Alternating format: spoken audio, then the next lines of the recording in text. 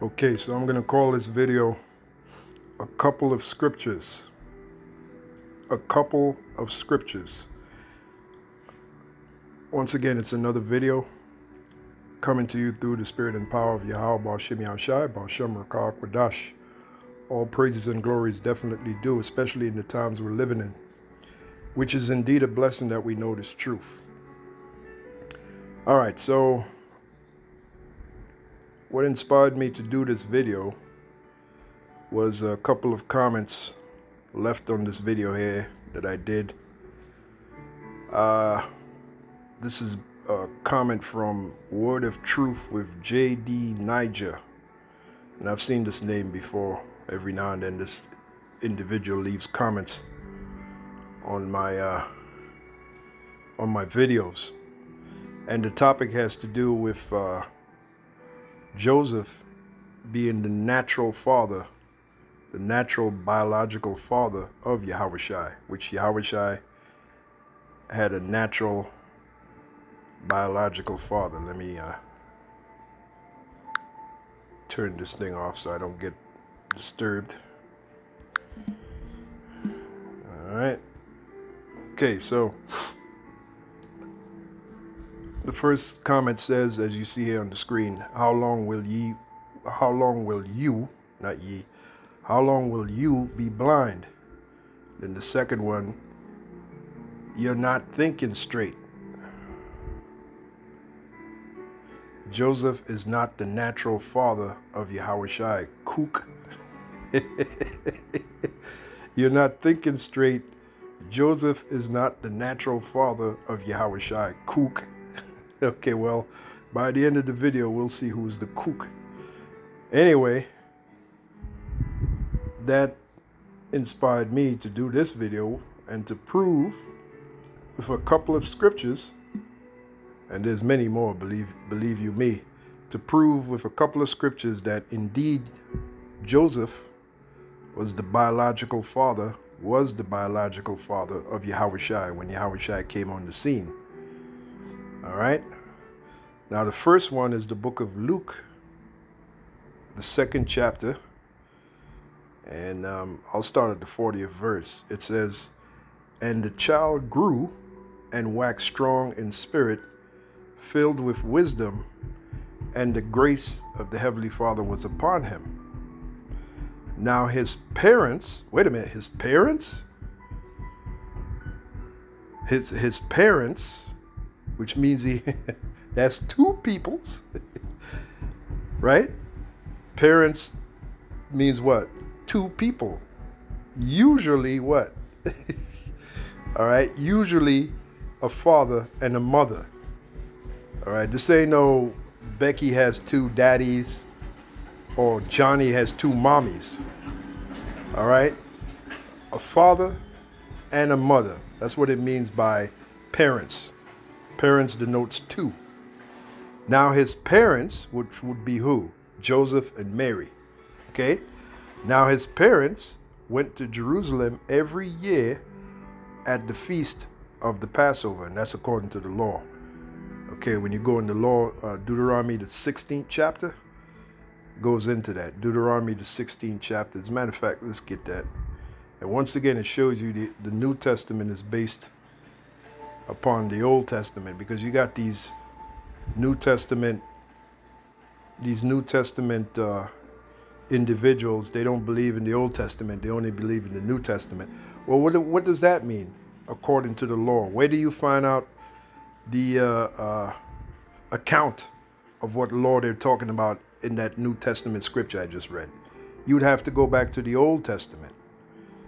In particular for that for that uh, for that account, you'd have to go back to Deuteronomy 16 16. And by the way, Deuteronomy means second book of the law.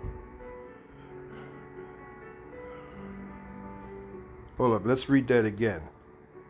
Right? Uh, Luke 2 and 42. And when he was, I'm sorry, Luke 2 and 41. Now his parents went to Jerusalem every year at the feast of the Passover And when he was 12 years old, they went up to Jerusalem after the custom of the feast. All right, so why did they go to Jerusalem? Right? Why did they go to Jerusalem every year at the feast of the Passover? Let's find out why. Bear with me for a minute. We go to Deuteronomy, the 16th chapter, the 16th verse. This is why.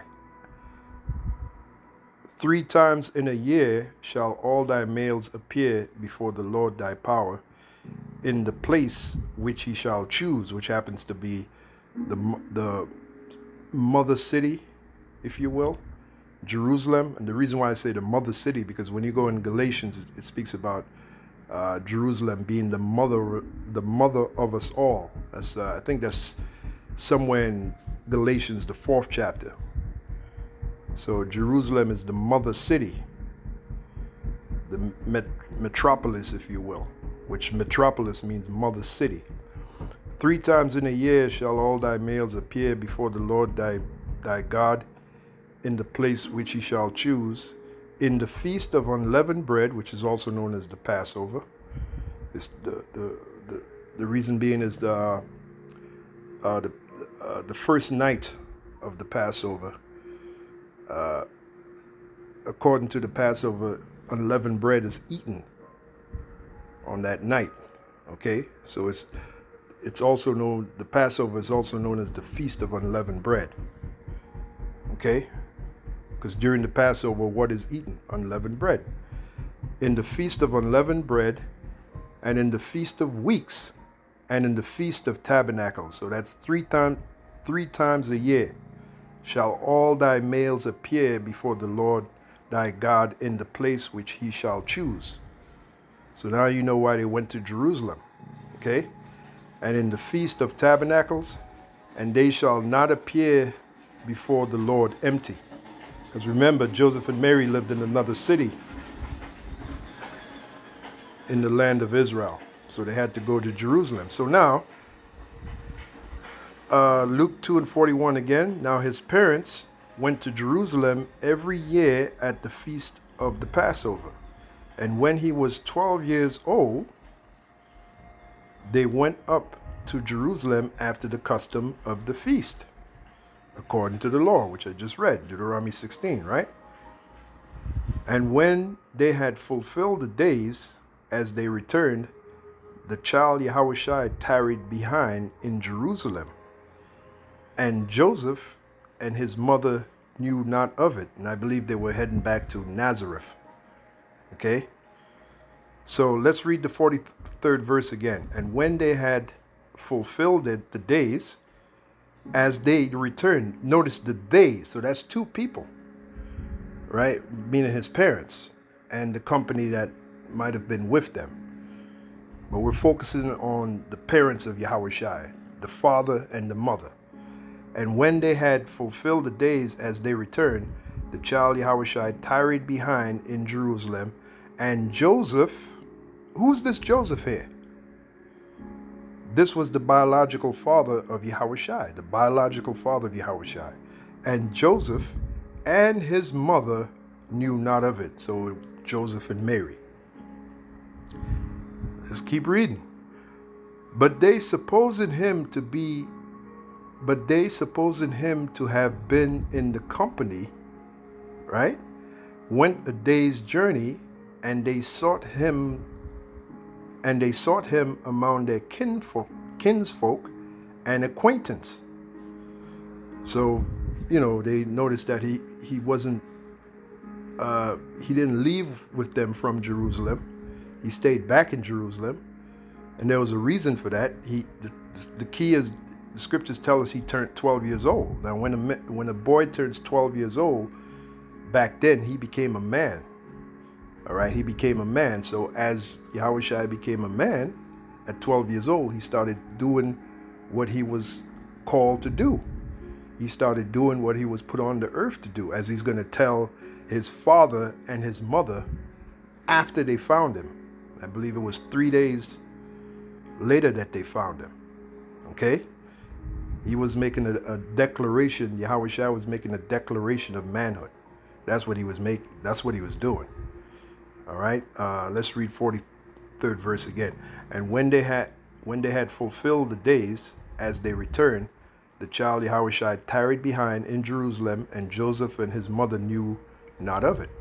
But they, supposing him to be to have been in the company, went a day's journey, and they sought him among their kinsfolk and acquaintance. So they were really looking for Yahushua. Of course, they, you know, his his his parents, they were not probably, they were terrified. They said they they didn't know what happened to their son. For all they knew, their son could have been dead or killed. You know? Anyway, reading on, it says, And when they found him not, they turned back again to Jerusalem seeking him. So you can only imagine how frustrated the father and the mother was. And it came to pass that after three days they found him in the temple, sitting in the midst of the doctors, both hearing them and asking them questions. And you know, this was Yahushua, right? At the age of 12, right?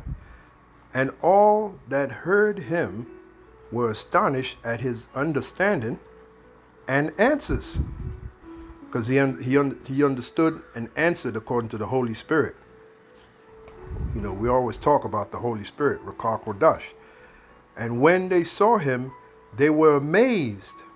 And his mother, listen good, listen good. This is the, f- the first scripture that proves that Yahushua had a biological father. A biological father, and of all people that knew it, Mary knew it. Okay, based upon what Mary says to her son after looking for him and after finding him three days, which she was not probably, she was out of her mind. I mean, you know how emotional these women can get. She was out of her mind looking for her son. You can only imagine the frustration, the anger, the fear.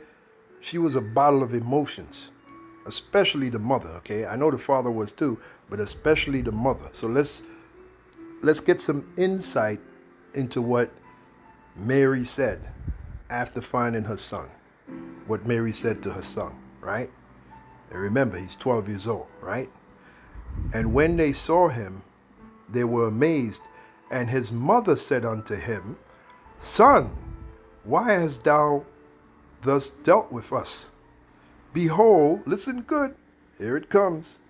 Behold, thy father and I have have sought thee sorrow. So, for those of you that believe that um, Yahweh's father was a spirit or God was his father, you mean to tell me? let's let's get the energy of what's said here. Behold, thy father and I have sought thee sorrowing. So let's say the uh, spirit, the you know they teach the. Uh, the one they call Jesus Christ, which is Yahweh that his father was a spirit or an angel or some entity, or he just had no father. So you mean to tell me Mary would say, Your father and I have sought thee sorrowing? Why would Mary even mention about your father? Who's Mary alluding to? She's alluding to Joseph.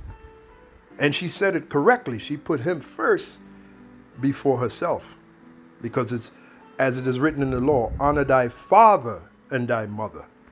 So Mary which show, shows you right there, Mary was a dutiful woman, dutiful to her husband.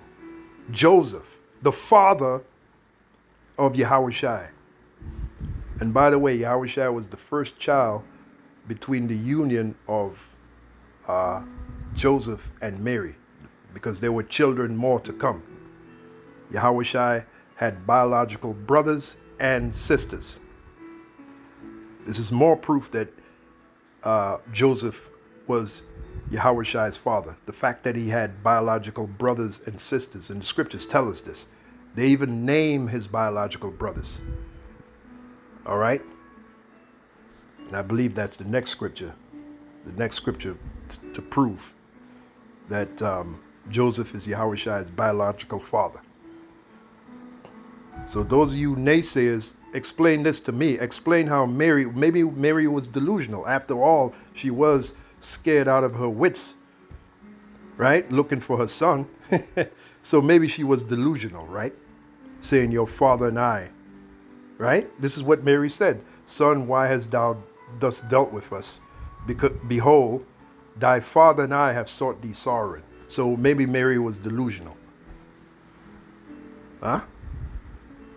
Thy father and I. Who she who is Mary alluding to? Joseph.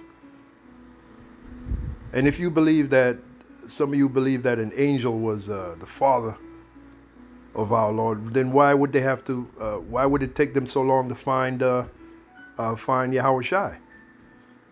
Why would it take them so long? I mean, after all, his father's an angel. He would the, the angel would instinctively know or knew where Yahweh Shai was. He's an angel, right? Doesn't make sense, man. The only thing that makes sense to this verse is that Yahweh Shai, just like everybody else, had a biological father and a biological mother. And both of them were scared out of their wits looking for their son. They had no idea where he was. Okay? Let me read that again. Son, why hast thou thus why hast thou thus dealt with us? Behold, thy father and I have sought thee sorrowing. See? So he had a father, biological father. That was Joseph. And he said unto them, How is it? This is the re- response Yahweh gave unto them. Again, like I said, declaring his manhood. And, and, and as being a man, what was he put on the earth to do? To teach the gospel of the Father, Yahweh. And then ultimately become a sacrifice or sacrificial lamb for the nation of Israel, beginning with the elect. Those were his duties as being a man. Okay? And he said unto them, How is it that you sought me? Wist ye not that I must be about my father's business? And you know it's heavy, um, what, uh, shall we say 12 years before? Uh, remember the meeting that uh, the old man had, Simeon, had with his parents, Joseph and Mary. And you remember the, the, the things that Simeon, the old man, said about Yahweh Shai. Okay? So basically, Yahweh Shai was telling his mother, You should have known why, you know, in the spirit, why I did what I did. You know, I have a heavy calling from my father. And when he said my father, meaning his, his spiritual father, which is Yahweh. Yahweh is the spiritual father of all of us. One of the titles of the Heavenly Father is the Father of Spirits. But we, just like all of us, we, he, you know, we have a biological father, and it was no exception with Yahweh Shai. And those that say any different, they, they just don't understand the scriptures. They're the ones that, that are kooks. They're the ones that's blind. Okay? And he said unto them, Have ye, how is it that ye sought me? Wist ye not that I must be about my father's business? There you go. And they and they understood not the saying which he spake unto them. The they, again, who's the they?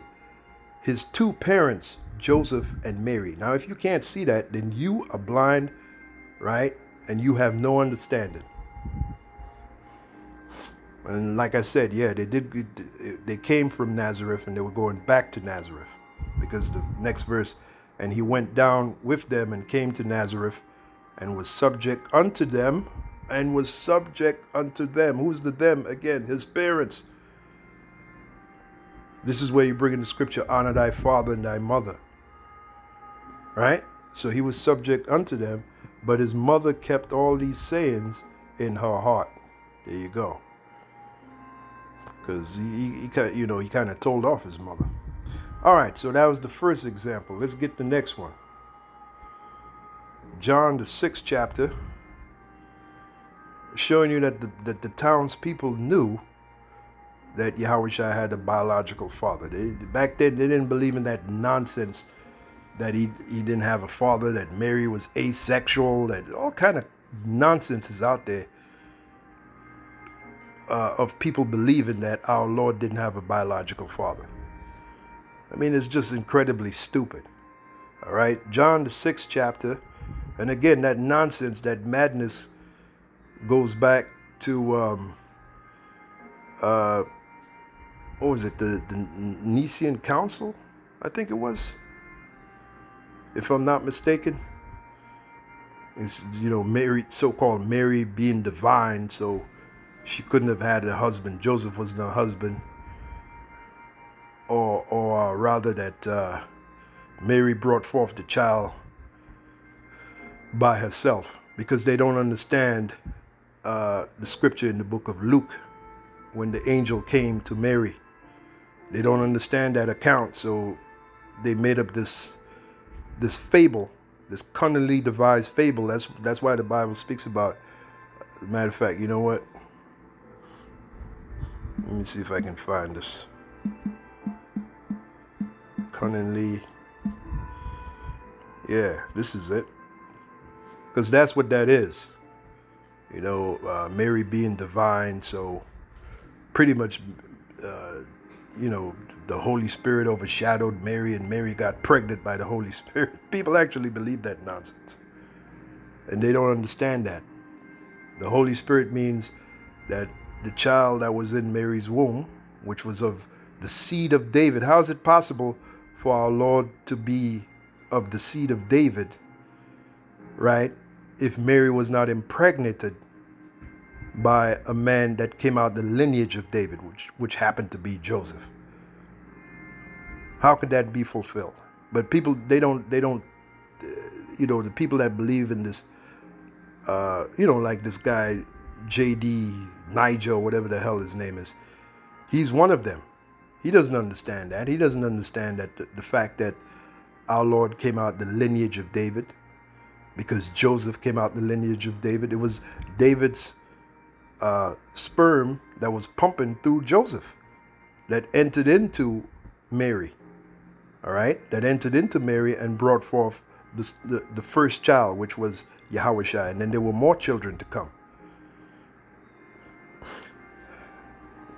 Anyway, 2 Peter 1 and 16, for we have not followed cunningly devised fables when we made known unto you the power and coming of our Lord Yahushua, but were eyewitnesses of his majesty. So that's us. We have not followed cunningly devised fable. That's what that is. That that uh, Mary being divine and the Nicene Council and uh, Mary's divinity, you know, that's that's a cunningly devised fable. There's no scripture in the Bible where where it tells us to honor Mary and worship Mary, like that stupid prayer, the Alf the um, uh, prayer that they have, not the Our Father prayer, the prayer that these, uh, uh, you know, the, the Catholic Church has, Holy Mary, Mother of God, pray for us. Where's that in the scriptures? Holy Mary, Mother of God. Where is that in the scriptures? Where in the scriptures are we supposed to pray to Mary? Now, it's true that Mary was overshadowed with the Holy Spirit. And, and, and the product of that was you know, what was her son because he had he had the Holy Spirit. He had the he had the truth. That's what that means. Doesn't mean that he didn't have a biological father. Okay. Anyway, let's get back to uh, the uh, the the point, the second one. So John six and uh, John six. Let me see where I'll start here.